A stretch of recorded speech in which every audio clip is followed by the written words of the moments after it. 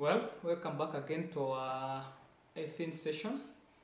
We did introduce the topic marriage, and in a previous lesson, we did look at uh, the traditional approach and preparation for marriage. We did say that in traditional African society, the boy and girl were prepared before marriage, right? We did talk of the courtship period. This is the period whereby the girl and the boy got to know, got to know about, uh, got to know of each other before moving in as a husband and wife. Now, today's class, we get to look at the Christian approach and preparation, how Christians prepared, right? What's the approach of the Christians to marriage? Welcome all, and let us learn. Your teacher is Roger Mshira, and the station you're watching is uh, Elimu TV. Now, by the end of the lesson, we get to discuss how Christians are prepared for marriage. Now, can we get to see how Christians are prepared? One, Christians get to organize youth seminars, right? Rallies to teach how to choose marriage partners and how to treat wife, husband, care for the children, behave towards in towards in-laws, uh, the, the in-laws, acquire wealth, right? That's for men and head the family. Now look here. In church, we always see youth seminars, right? We always see youth rallies. Good. Youth conferences. Now, class, this is the time the youth are taught on how to choose a marriage partner. Right? This is how, this is when the boys are taught to be men. These are when girls are taught to be women, husbands and wives, right? This is, this is when responsibilities of a husband in a family is spelled out. This is when responsibilities of a woman is spelled out. Good? Now, youth are also taught to avoid sexual intimacy before marriage.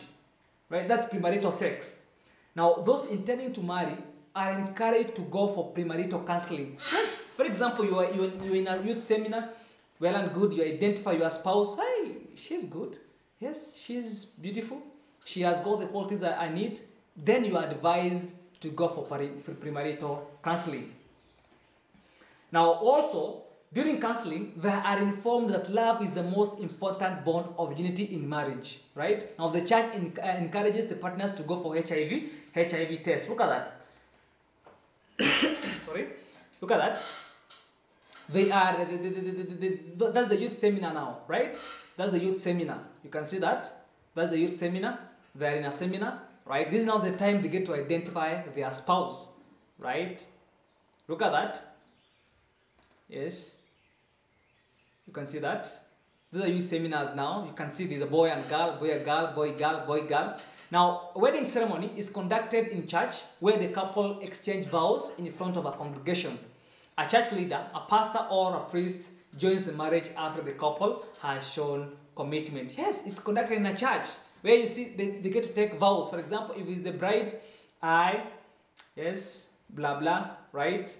I've, I've, I've, I've decided to take this as my, my, my husband, right? In terms of good, in terms of uh, uh, bad times, good. All those vows, they get to take those, they get to take those vows. Now, how do you choose a marriage partner in the Christian, uh, in the Christian, in the Christian society today? Now, there are many ways you identify a marriage partner. One, it can be arranged by parents. Yes, if not one can make an individual decision and choose a wife or husband, this is when, hey, there are people who can stay for long without uh, uh, getting, a, get, get- getting to bring a wife home, right? Or getting to find a husband. Yes. Now, it goes now to the parents, a, decision, a parent's decision. They get to decide when to, to marry. No, no, no, they get to decide on who you are going to marry. That's arrangement by parents. So you might be coming from work one, one, one fine day.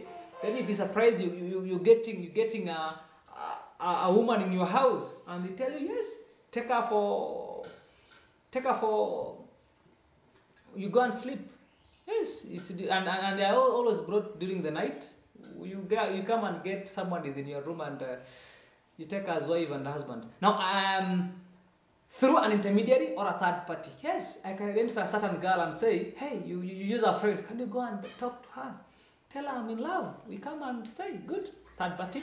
Now, in, in, in African tradition of polygamous marriage, the first wife identified a wife for the husband. Yes, in the tradition of African society, whereby a third wife could identify So the a first wife could identify a wife for the husband. It was allowed. And finally, girls will be given out to achieve as a gift. This was very common in traditional African society. For our task, there is a task on your screen. Kindly get to solve that. How can one choose a marriage partner? And for reference, get to use the reference, uh, the reference that is on our screen. And as always, this is Elimu TV, your favorite learning channel where you get to watch and learn. Stay tuned for more lessons.